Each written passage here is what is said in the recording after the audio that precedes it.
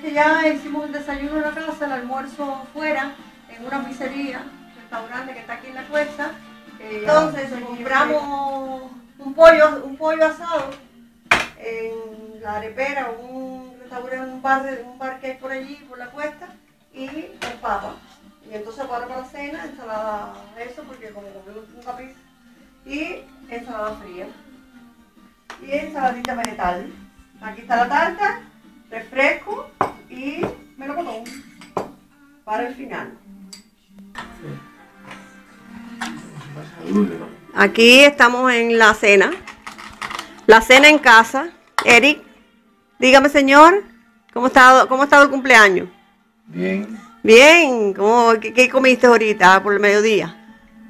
café, ¿Cómo café? café Eso fue por la mañana. Y por el mediodía, pizza y pizza, y refresco. Y Coca-Cola. Está bien, bárbaro. ¿Y entonces le gustó el recorrido por la cuesta? Sí, Bárbaro, ese es su barrio. Y entonces aquí tenemos la comidita de la cena.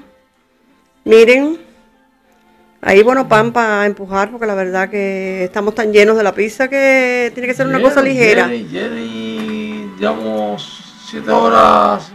Ay, es que Eri no está lleno, muchacho. Dice Eri que no está lleno, pero yo sí. Ah, bueno, pues hijo, mira, hay pollo entero. Mire ahí, tenemos la ensalada de vegetales. Tenemos el pollo que Santi ahora mismo picó con papita.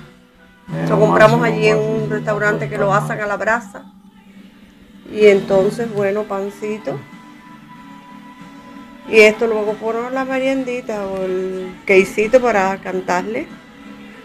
Y melocotón con la tártica. Y así. Ahora nos vamos a sentar a comer. ¿No crees? Señor cumpleañero. ¿Quiere comer? Bárbaro, menos mal